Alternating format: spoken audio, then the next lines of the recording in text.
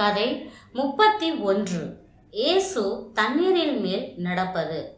ஐயாயிரம் பேருக்கு உணவு கொடுத்த பின்பு அவர்களை அவரவர் வீட்டிற்கு அனுப்பிவிட்டு சீஷர்களை பார்த்து அக்கறைக்கு போக படகை ஓட்டுங்கள் என்று சொன்னார். சீஷர்கள் படகில் ஏறி போனார்கள்.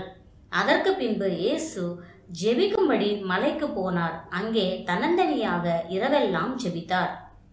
அந்த சமயத்தில் சீஷர்கள் படகை ஓட்டிக் கொண்டிருந்தனர் ஆனால் காற்றும் புயலும் அவர்களுக்கு எதிராக பலமாய் இருந்ததினால் படகை ஓட்ட மிகவும் கஷ்டமாக இருந்தது.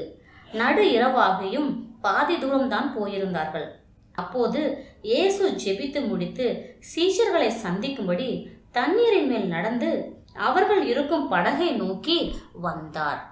சீஷர்கள் அவரை பார்த்து பூதம் என்று நினைத்து மிகவும் பயந்தார்கள்.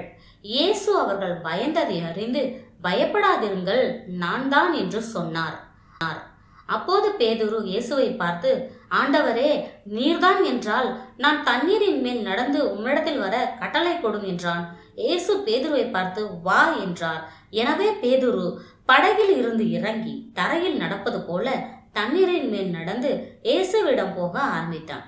கொஞ்ச தூரம் நடந்தவுடன் இயேசுவை பார்த்து கொண்டிருந்த அவன் கண்களை அலையின் மேல் புயலின் மேலும் திருப்பினான். பின்பு பேதுரு மிகவும் பயந்து தண்ணீரில் மூழ்க ஆரம்பித்தான். ஆண்டவரே என்னை காப்பாற்றும் என்று கதறினான். இயேசு அவனை பிடித்து தூக்கிவிட்டார்.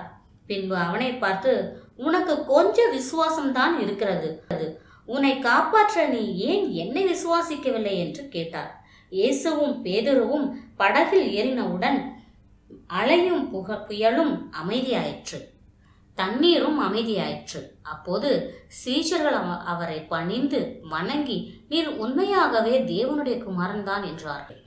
வேதாகம கதை மத்தேயு அதிகாரம் பதினான்கு வசனம் இருபத்தி ரெண்டு முப்பத்தி மூன்று மார்க்கு அதிகாரம் ஆறு வசனம் நாற்பத்தி ஐந்து முதல் ஐம்பத்தி ரெண்டு வரை. யோபான் அதிகாரம் ஆறு வசனம் பதினாறிலிருந்து இருபத்தி ஒன்று வரை.